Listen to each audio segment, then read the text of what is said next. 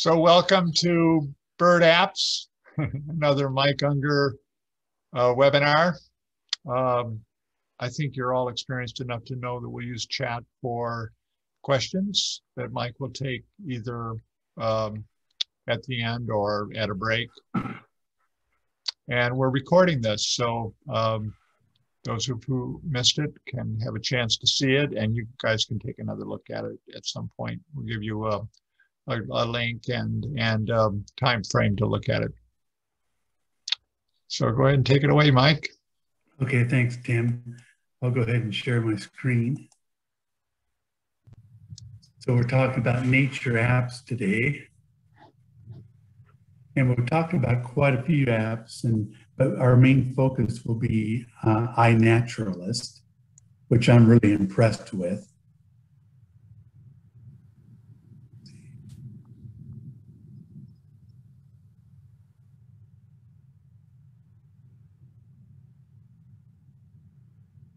A quote by Aristotle. And I'm definitely curious, always curious about nature. There's so much to see out in the world.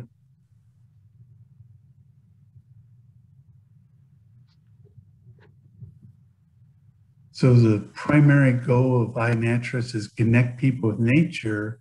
And that sounds very familiar because the Salem Audubon Society, our mission is to um, connect people with nature. That's one of our main missions of uh, our society. Uh, iNaturalist is a citizen-based uh, adventure, uh, which is a joint initiative with the California Academy of Science and the National Geographic Society.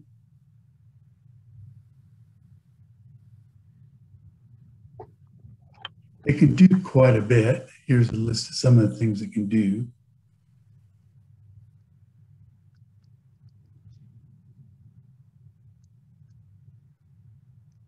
And I know the first one says make observations, but naturally, I naturalists can't make observations without human intervention. So you're the one that actually helps make the observation. Uh, the identification is then uh, confirmed by other people, um, and the images, they use an image technology to help identify.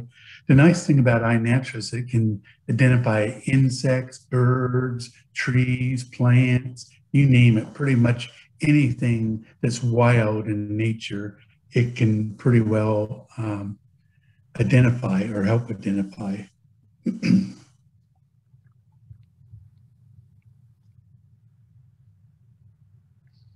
So now there's over a million uh, citizen scientists in the program. And there in the second part, it says you can help create research quality data. Uh, we'll show you that in a little bit. Uh, how you tell if your sighting and observation is research quality.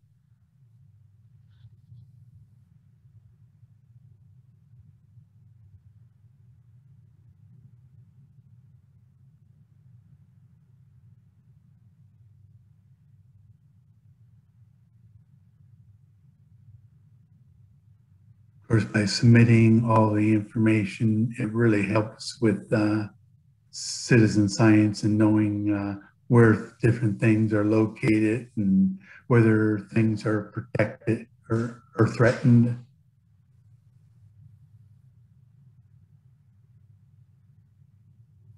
Another benefit, if you don't know the ID or unsure of it, it can help you get an ID.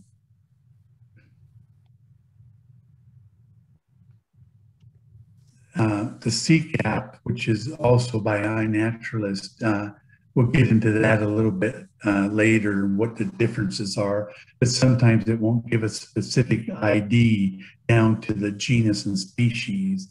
Um, so if you uh, send it on to iNaturalist, then it will even give you a better ID, and usually within hours or days.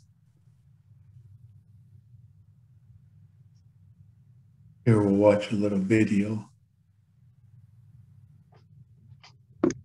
iNaturalist is a social network where anyone can record and share their photographs of living things. When you share a photograph on iNaturalist, it becomes more than just a picture, it becomes an observation. It's a record of an organism in a place at a time. Each observation is shared with a global community of naturalists where it can be identified, discussed, and used to give us a greater understanding of life on Earth. Wherever you are, biodiversity is there too. Get out and observe it.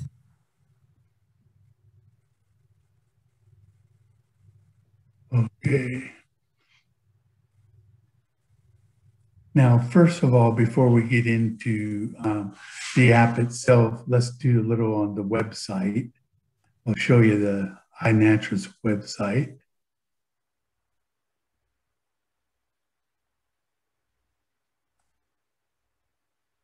Hopefully I can get it up. Here we go. So here's their website.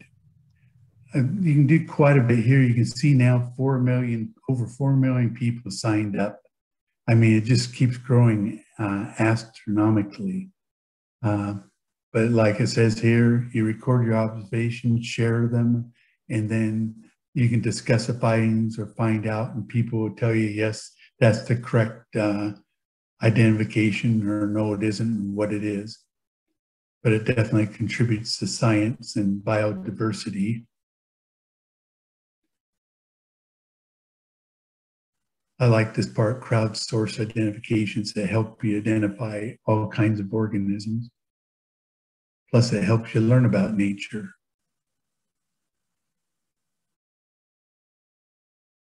Also, just like eBird helps tr you track your birds, uh, iNaturalist helps you track anything in nature, including birds, plants, trees.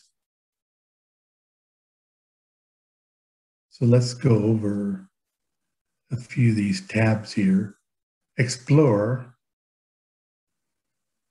You can see here you can go in and see the latest uh, observations.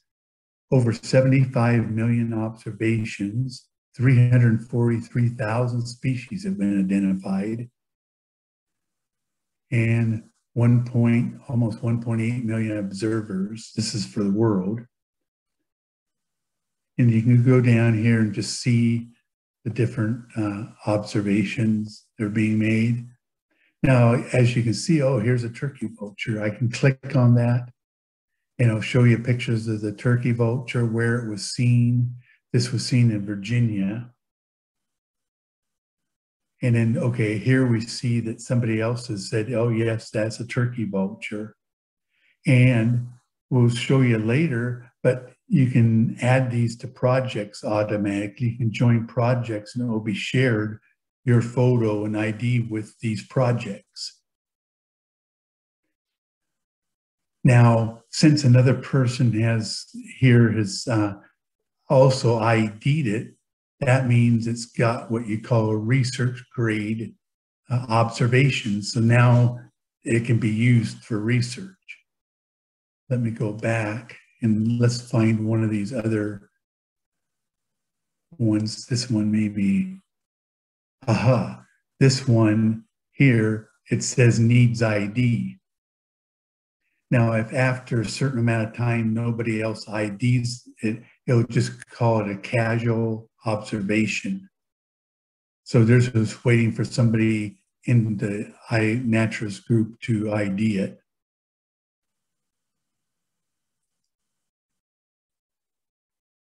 Now, let's say I don't really want to see the whole world. I just want to see maybe Oregon. So I can go in here and type in Oregon, say the state of Oregon. And now I'll only see observations from Oregon. And you'll notice here, somebody doesn't know what this is. So it's shown as unknown. And now later on, somebody will get in there and see it, and they'll be able to give you an observation. Somebody put down a Sierra woodpecker here. Hmm, not sure about that. Chipping sparrow. But there's all kinds uh, of yellow-faced bumblebee. So here's something a little different. You can see all the observations of the, the bumblebee here.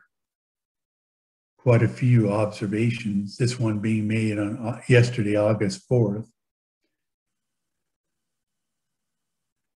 And th- that'll probably get somebody pretty quick uh, to identify it and confirm the observations. Here you can also uh, add different, you can add multiple uh, pictures of uh, the subject of what you're doing. For example, a tree, it's good if you can add, you know, take a picture, maybe the bark, the cones on it, and then the um, needles on the tree. And in that way, that can help give a better uh, identification of it. But you don't have to. I normally just take a picture of the pine needles or fir uh, needles, and it will give you a good observation. But you see who made the observation. He's he or she has made 128 observations. So that's basic observations. You can go in there and uh, get it down to species. You could just put monarch butterflies seen in Oregon or uh, in Salem, Oregon, and then it will break them down into that. Uh,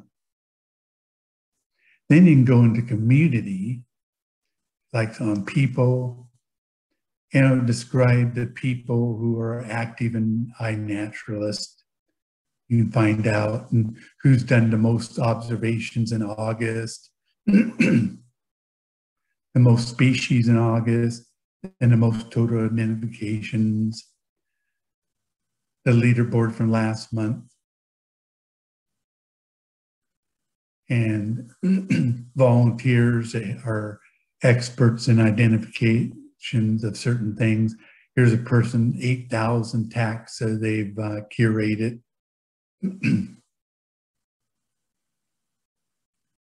Here's somebody, 22,000. So um, some people that are really into nature and identification. then you can go down to the projects. We talked about that a little bit ago, but there's a lot of different projects that get their information fed through iNaturalist. Excuse me. Get a little drink here.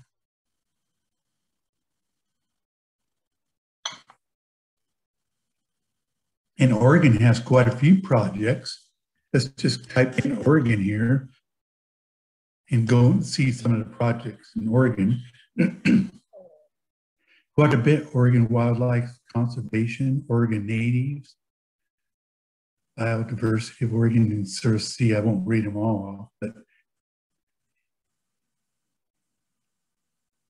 Oregon birds. So quite a few projects ongoing. Anybody can start a project. the Oregon Coast Insect Inventory.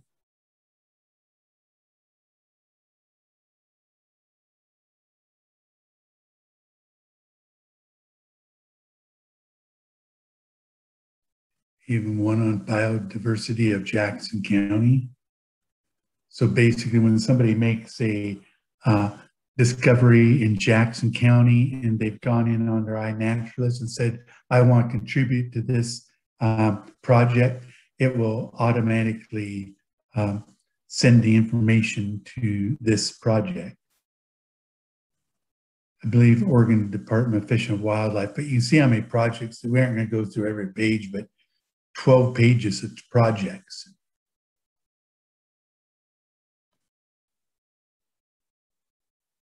And there's journal post.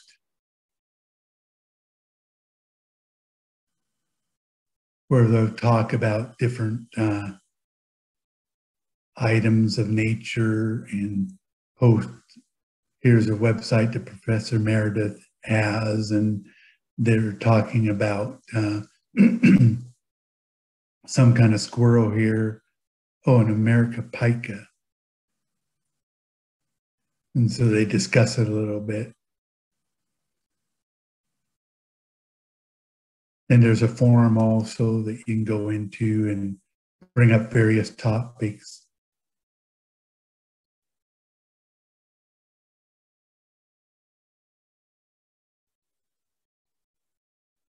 Go back. Oh, come on. Oh, here we go. So then under more, this is what I use a little more often. Let's go to taxa uh, information. That's taxonomic information. For some reason, it seems to take a long time to come up.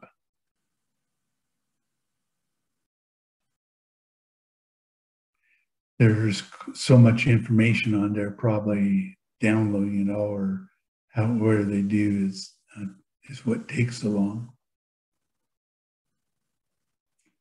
But here you have taxonomic information on all insects, things like spiders, amphibians, mammals, fungi including lichens, reptiles, birds, plants. I mean, all kinds of information. Shows the most recent things that were observed. you can go up here into search. Oh, let's say I want to look at the western kingbird. There's a western honeybee. Here, western kingbirds. So I can click on that.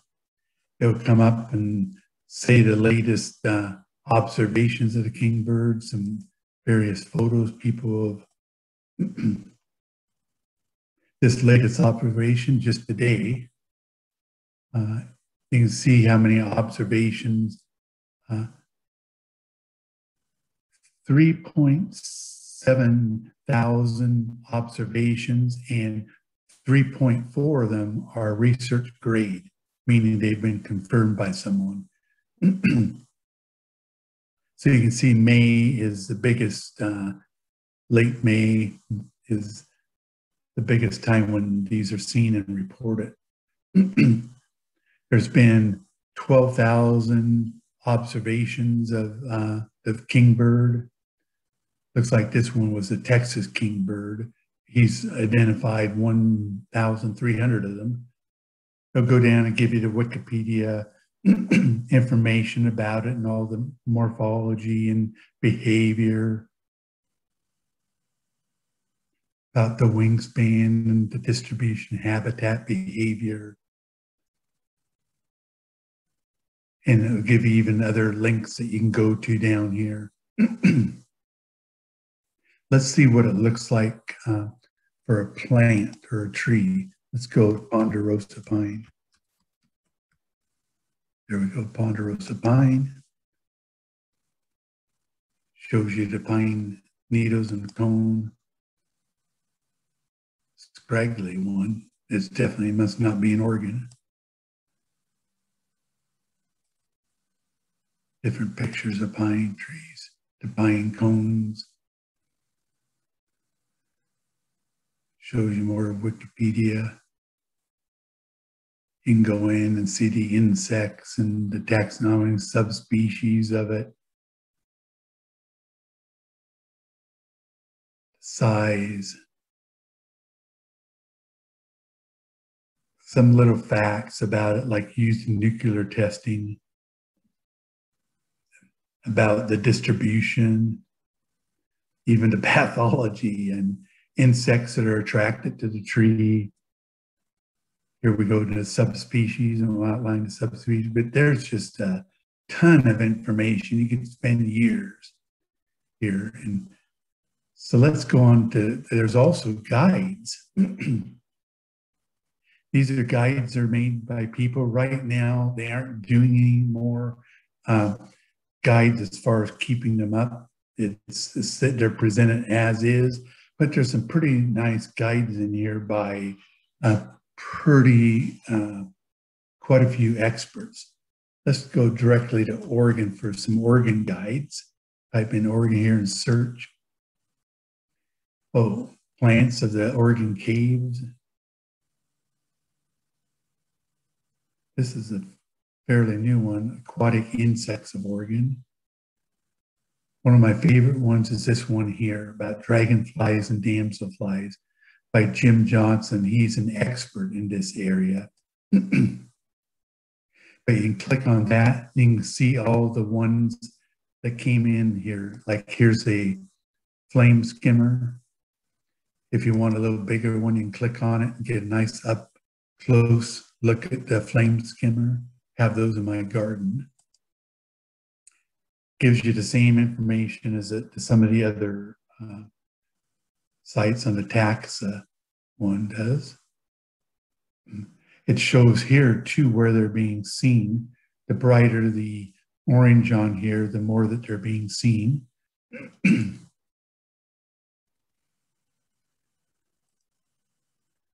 then the widow skimmer is another one go to.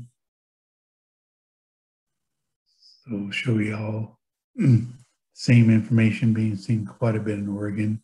You can make this full screen and, and looks like naturally they're seen a lot more in the eastern US than they are here in Oregon.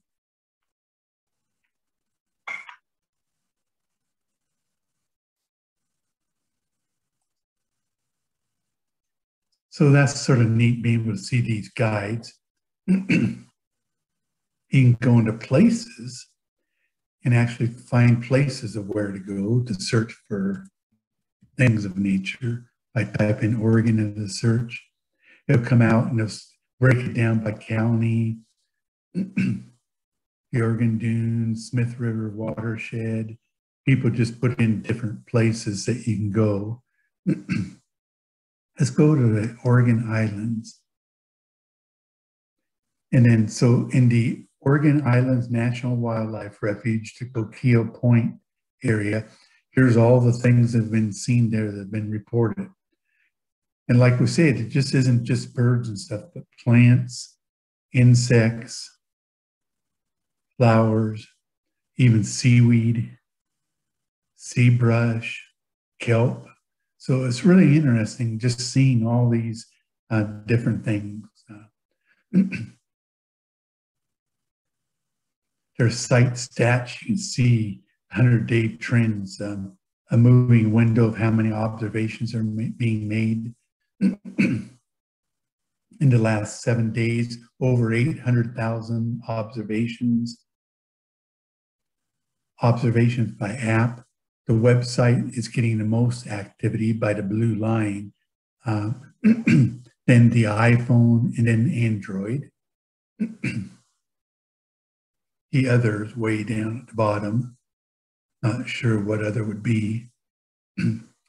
the number of hours it takes for an idea to be made on them. Active users at any one time.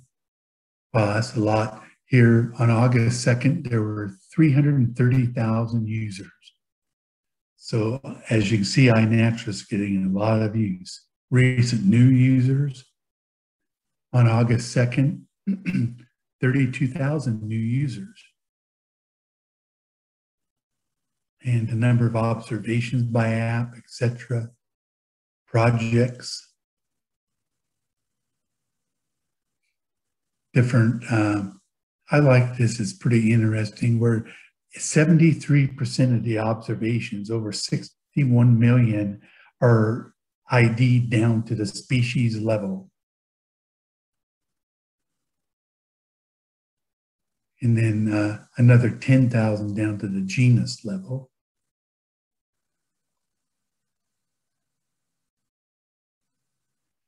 Then last, you can go into the help to get help. We won't go there. Also, there's um, videos on using iNaturalist, how to make observations, adding observation using the web, how to best take photos, and all kinds of nice uh, videos on using.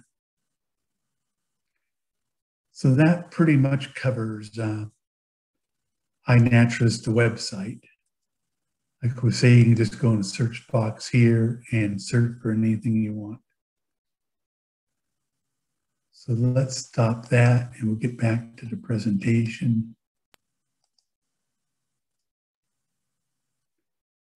So we've basically gone each of those, how to observe different uh, observations, how you can research different species, looked at the projects and guides. Now we'll go into the app a little bit. There is apps for both Android and uh, iPhones and tablet for that matter. The apps are a little easier to use than the website. Especially, I only use the iPhone to do my entry.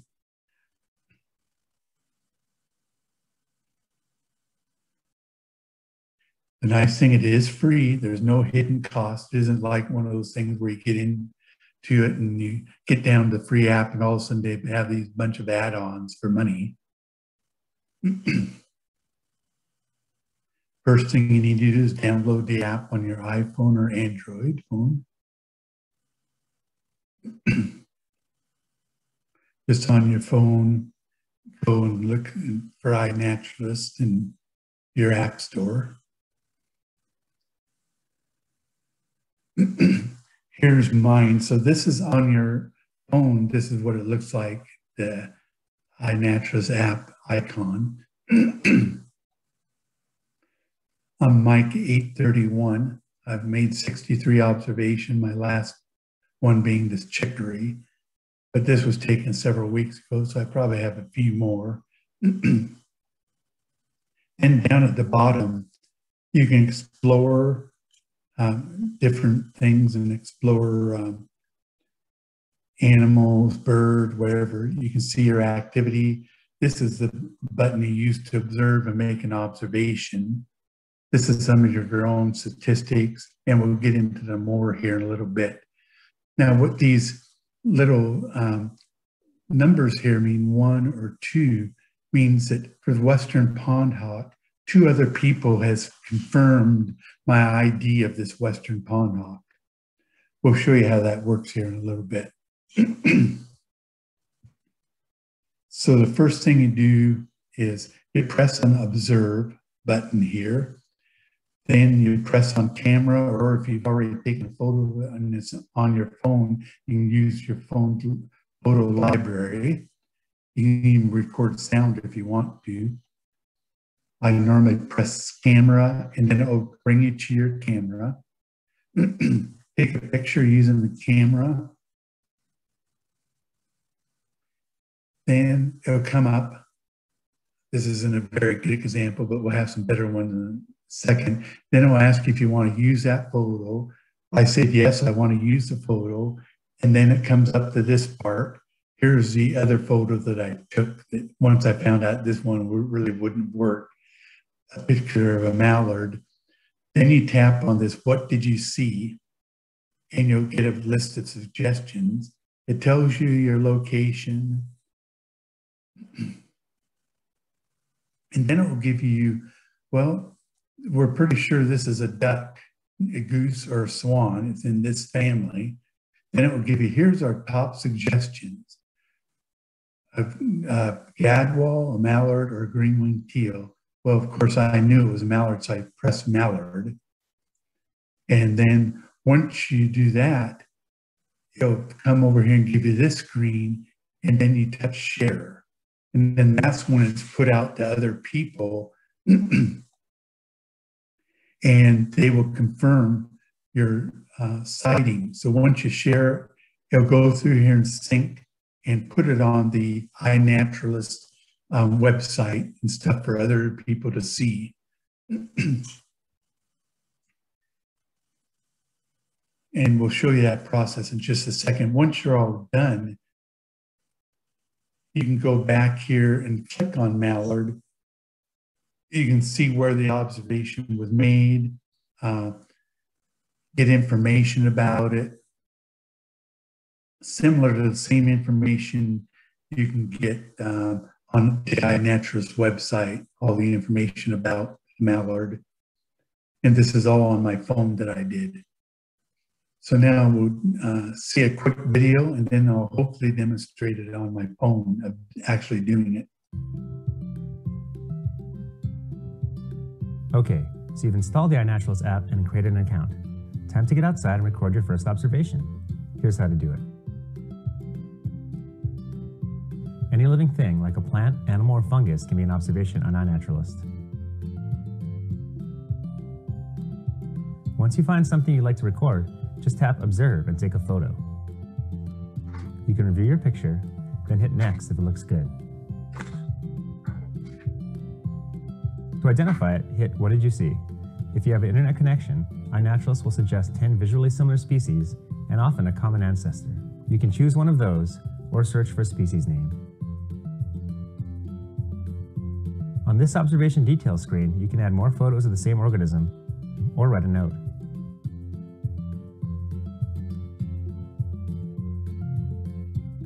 The date, time, and location have been automatically added. Can also change the geoprivacy of the observation, mark whether it's captive or cultivated, or add it to a project. Once you're finished, just hit share and your observation will be uploaded for everyone to see and identify. That's it. Keep on exploring and sharing.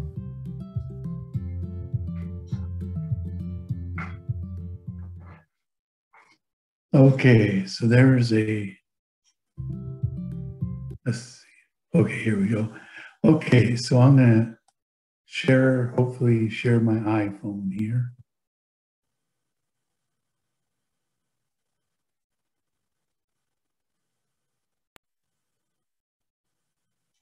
Let's see if it's, okay, must,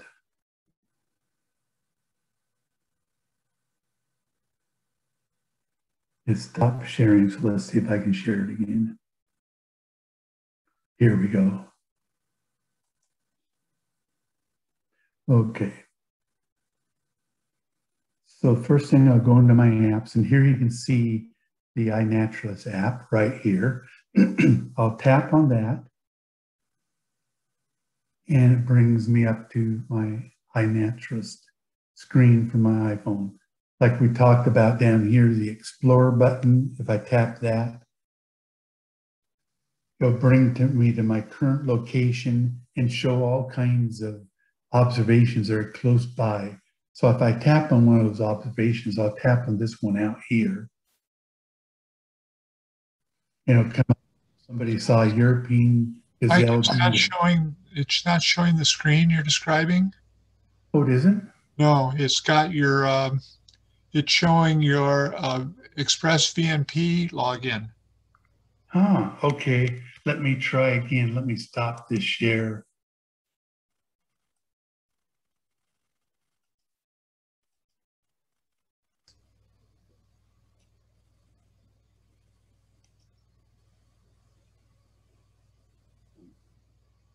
Okay, let's see if is it showing it now?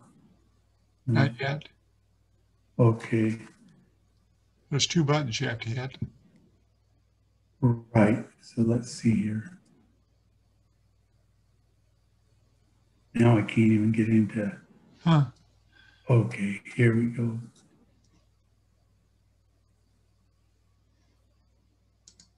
Now, yeah, try it now. huh? Try it now. I just uh, uh, revised some of the settings. Okay. Now, that's interesting. I'm not even, uh, okay, here we go. Let me see if I can do it now. Oh, there we go. I think it'll work now. That's it. Okay, so let's go back. As I was saying, you can click on this Explore button here and pick out, here's are all the sightings on iNaturalist around my area. So I would go out to this outside one, tap on that, and it will bring up uh, what was seen there. So on Cedar Bluff Circle is a, seen a European gazelle beetle. It was by bio ed teacher and back on May 2nd, 2021. you can go in here and see that um, you can comment on it or suggest an ID. somebody did suggest an ID and agreed with the observation. and that's how it will show down here when somebody agrees with the observation, they agreed.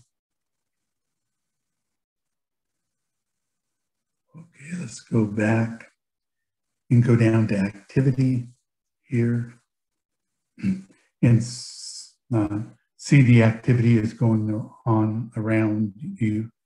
the most current observation two days ago that I made, coastal brush lupin.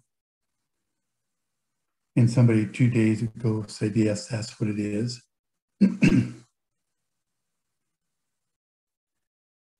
But let's get on to this main one, observe. That's the key one to use when you're out in the field. So I touch the observe. And like we saw in the little video, it gives you these choices. So I'll select camera and I'll take a photo. I have a, something right over here that I'm going to take a picture of. So I've taken a picture of and asked me, do you want to use this photo down here? I'll say use photo and then it comes up and here's where you can add more photos if you want to. You know ask well what did you see?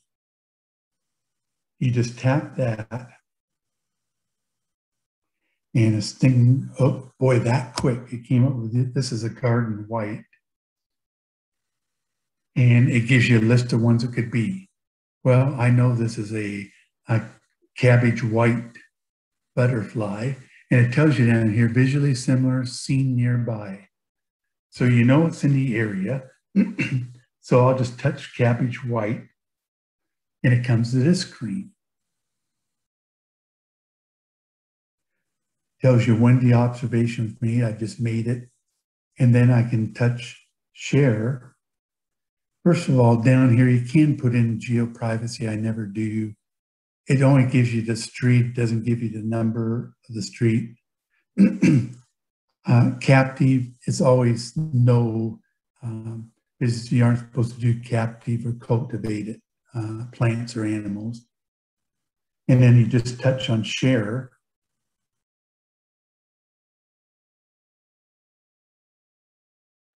And it should be, let's see if I'm, oh, it's loading it now.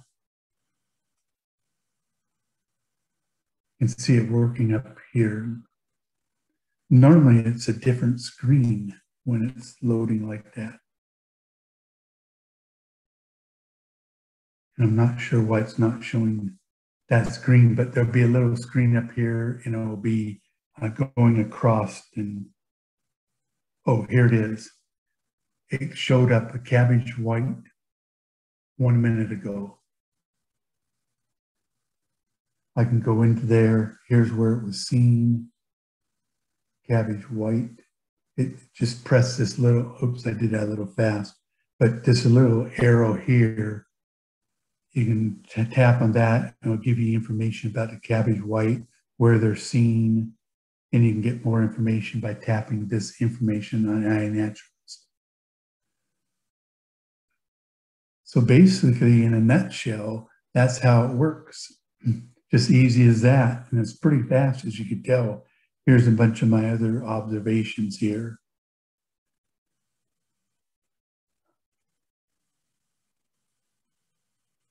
And so basically, that's how this works. Uh, I'm going to minimize this and see if we can go on. I'll stop the share of this.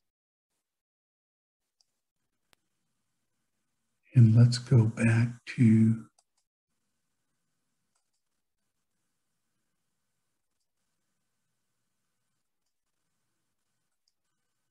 we were uh, here at Seek by iNaturalist.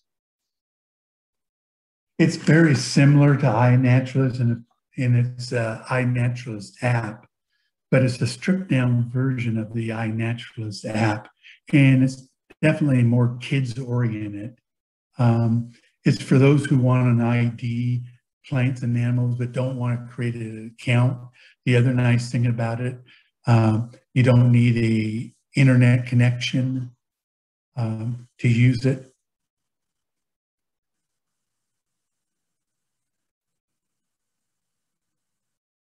Like we say, similar.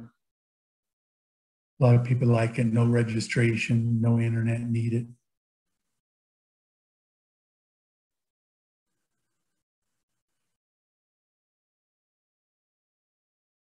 and identify plants and animals. Has some sections you can tell it's sort of kid orient because you can, they can earn badges. They see certain number of mammals and they'll give them a badge for that. They can keep earning different badges. the difference between Seek and uh, iNaturalist, you can see them here, have to be 13 or older to make an account for iNaturalist.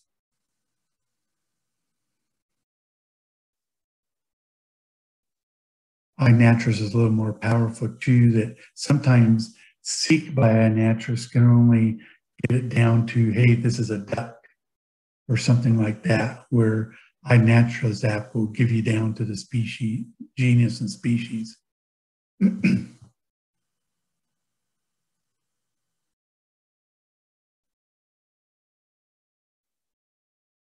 With the Seek uh, one, you aren't really contributing to uh, citizen science because your uh, observations aren't shared like they are over here with the iNaturalist. So those are some of the differences. We'll do short.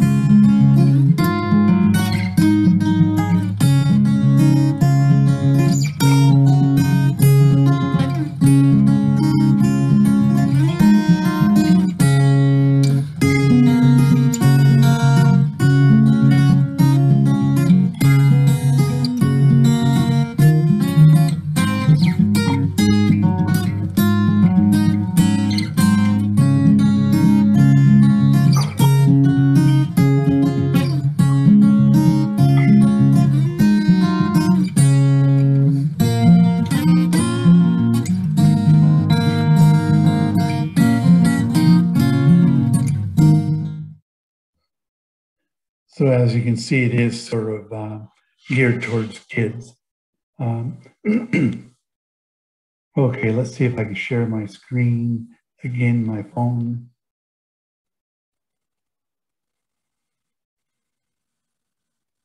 Okay, good, it's coming on.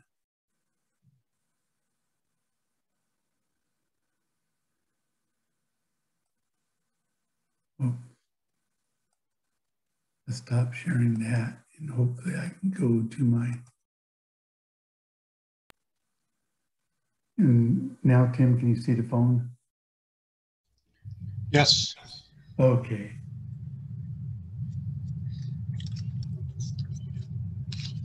So we'll go into my nature apps. Here I have a little part here, nature apps.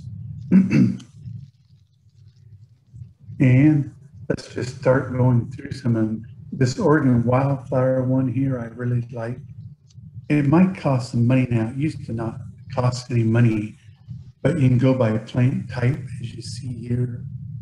Shrubs, conifer, other trees, vines, cactus, ferns, lichen, even seaweed, grasses. Then you can put into color the petals, where there's two, three, or four petals, the leaf arrangements, the habitat you saw it in. So let's just, let's say we're looking at a conifer, I'll tap on conifer, and it's in bunches. Okay, so I tapped on conifer. Okay, here, good, it moved on. So I'll tap on bunches. Now it tells me I'm down to 11 plants it could possibly be, and, and I have it set for Oregon. You can set it for any state you want. Habitat, let's say it's in a forest, a tap forest. and it still shows the 11 plants. So then when I'm done putting in all my uh, different categories I want to put in, I tap show the trees it could be. And here's a list of them. Could be Western Larch, Lodgepole Pine, Ponderosa Pine. You keep going. The nice thing about here, you'll see on the side, it tells if it's native or not. Go through, you know, tell you all the kinds of trees it could be. And tap on it. and then it will give you more information. You just tap on it, show a status map, where it's primarily found. Quite a bit of good information that you can get uh, from this plant. Let's say if I want, I'm going to try a wildflower reset. So I just hit the reset button here. say I want to do shrub and it's yellow, has three petals. And let's see if I put, it's, and it's in a metal. The only one plant that could be with my description is green golden brush. So yeah, you can always play around with it. Just hit reset. So it has 3,914 plants in its uh, database. You can just tap this and get information, general instructions on how to use it. Here you can change the time and place. I have it set for Oregon. You can reset it. Like I went to Wallowa County, Oregon. and you can set even the elevation. Come down here and say I'm near Malheur. I could go down and put it near Burns. And so, yeah, it's a pretty neat app. so let's go to the next one. This is a free app. One that I really like is uh, Dragonfly ID. It'll show you all the dragonflies and damselflies.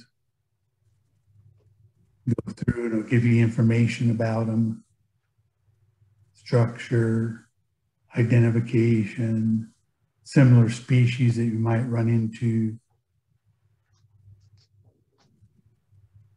habitat, where they're distributed, even the discussion. I mean, there's just loads of information. Uh, so now, like, let's say if I want to find a particular one, I can go in here and let's say I'll put in monarch.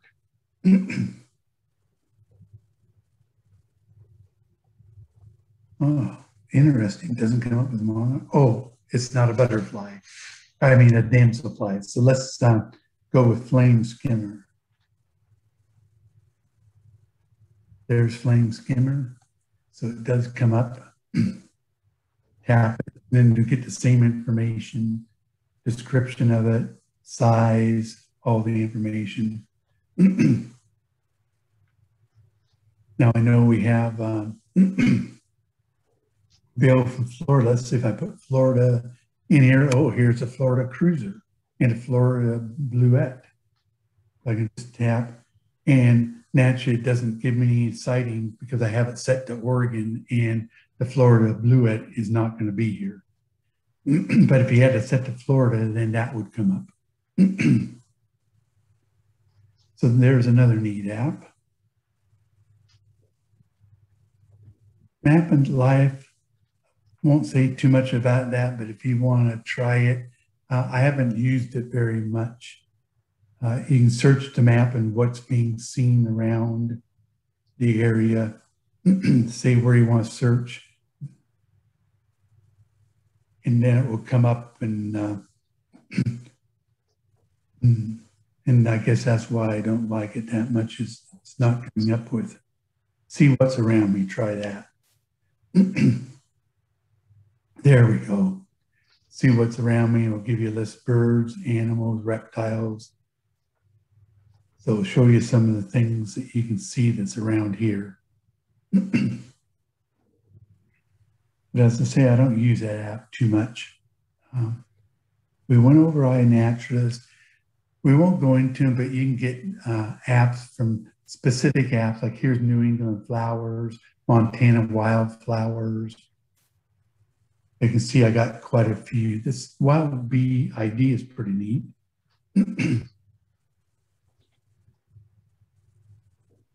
Based on your location, they'll give you all kinds of information about bees.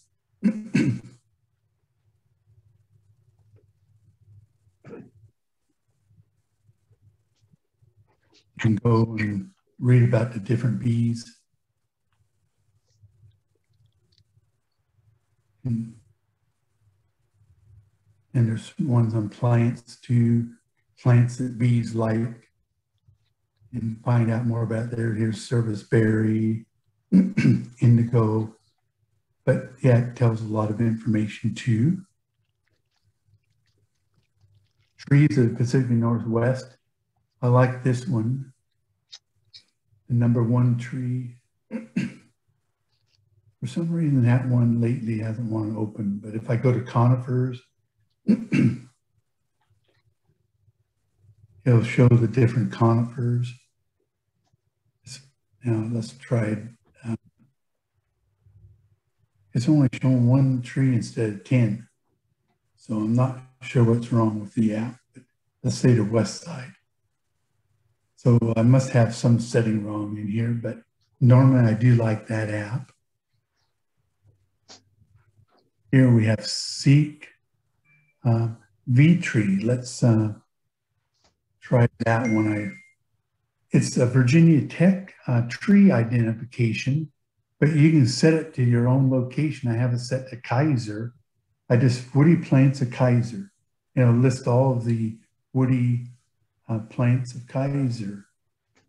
These are mostly broadleaf trees and plants. Plant ID help. Show me only if I only want to see oaks. It'll only show me oak trees. There's a white oak. Sure why I can't get rid of the um, thing here. But it will show you all the oak trees, etc. You can get use the GPS for your location or enter your location here. You can ask the uh, doctor send him an email. He'll help you identify a tree or something if you can't find it. Here's where you can download the information. I already did the download. That's how you get the database filled in. so that's a neat one. And it's the trees all over the US. Another one is this Wisconsin Fish ID. Um, even though it's from Wisconsin, uh, it has all the different fish, uh, even ones that appear in Oregon. Like I can go, let's go to different salmon. You know, give a list of all the salmon, Chinook salmon, coho salmon. So if I go to Chinook, and here, tap here, give a description of the Chinook salmon, even the fins. Breeding adults, what they look like, juveniles, hybrids. Some more photos of them, all different photos, including here's one of the front part of it, a close up of the head, the fin. You just X out down here to get back to where you were.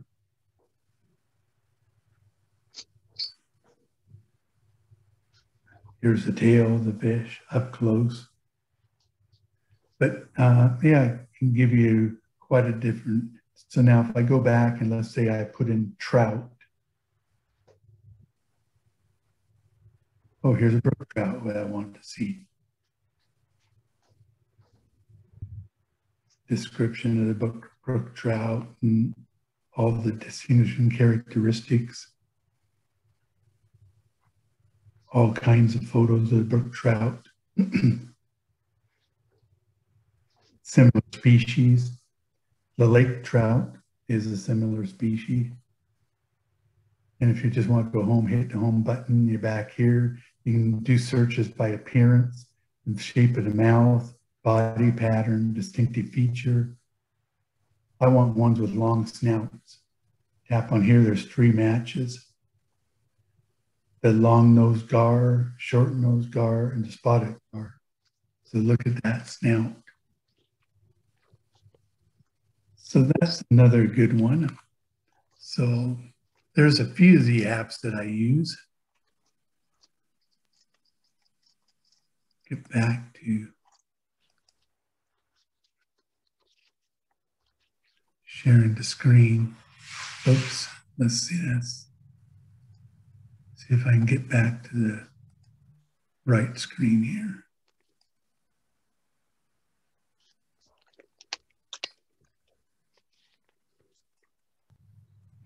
Here we go.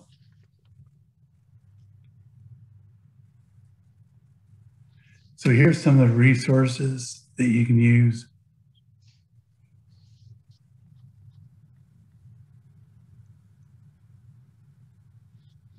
I like this on uh, my Oregon Department of Fish and Wildlife one here, Wildlife Viewing.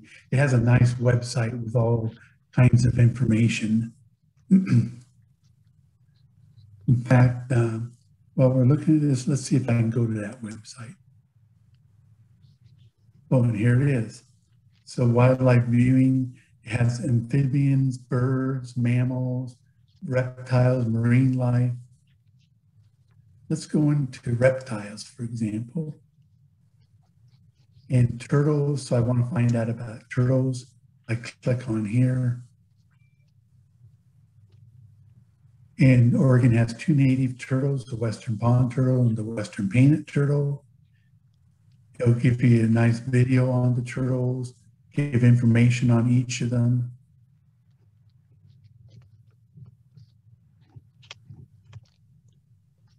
And you can do this for almost any species uh, that is in Oregon. So it gives a lot of nice information. I'll see if I can go back to my screen here.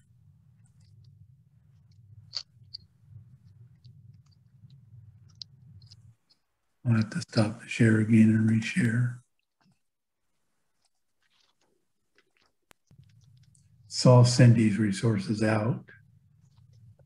Bug guide is a good one for bugs. So I want to thank everybody for attending. We're just about a few minutes after our next webinars coming up do you have a question, Mike. Sure. You ready for that, uh, Jacqueline? Um, and people, feel free to unmute yourself if you'd like. She said there's some unusual logs floating in Cheadle Lake by Lebanon. No one knows the names of the logs. Will not iNaturalist help with identifying them? It, it might help you by taking a picture of it and then submitting it. It might uh, help them be able to identify it. I'd definitely give it a try.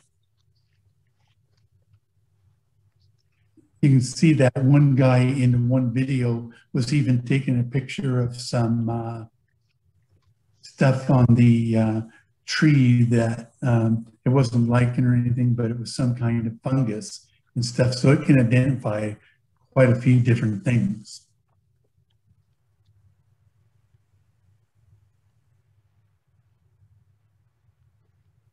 I'll stop the share for a little bit. And, uh, so let's see, do we have any other questions? Um, you guys want to, um, you have any questions you'd like to ask without having to go through chat? I just think these apps are wonderful, you know, to be out in the field. And I don't know if I think we all have curious minds about going out in the field and, and to encounter not just a bird, but a plant or uh, uh, an insect. Um, if you can get a picture of it, that's that seems to be the key. You've got to get a photograph of it. But uh, this that naturalist in particular just does an amazing job of IDing what you're seeing uh, when you're out in the field. Oh, great information. Thank you. Yep, I'll sure. enjoyed it. It was interesting about, especially about iNaturalist. Yeah. And one thing I'd say is that um, on the iNaturalist app, we just barely mentioned it, but let me get back to that, is you can also record sound on it. I haven't done that. I think I'll do that now. And since I haven't done it, I'm not sure how it will work, but um, I'll see if I can bring a sound up on my phone and use this to record. Um, oh, that would be interesting. Yeah, like I say, I've never used it. Let's get a common bird here. Another thing I like about iNaturalist is that the, your observations then can go towards conservation objectives. Mike, Mike mentioned the conservation strategy project that ODFW has. So if you find one of their strategy species uh, and have assigned that program or approved that program, that project to be uh, part of your observations, then that information will go to them and it helps with the conservation strategy for those species in Oregon. I found a, a, a marten up at Three Creek Lake and I submitted it through Ice iNaturalist and I got contacted by ODFW uh, representative. I have another question. From what I understood, Seek is not going to have anybody else to identify or verify your thing. Is that correct? Uh, correct. Yeah, it just give you an immediate. Uh, okay.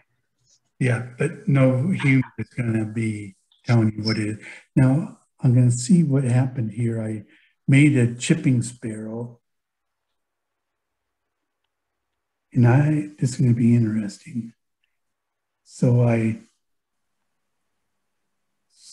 so interesting. I guess it won't do anything here that that sound is so far when I just did it, when I hit identify what I saw, it didn't do anything. So I'm gonna have to experiment a little more with that sound one on. Maybe it's just to add a sound to your photos as another thing to help identify the species. Uh, but I just haven't used that part of it yet. But I know for um, Birdwatch at Minto Brown and some of the other places I've used iNaturalist app. And while we were talking, somebody asked, well, what is this plant? I said, oh, well, let's find out. And I'd take a picture and we'd find out right away what the plant was. Okay, any other questions? As usual, I'm running a little over.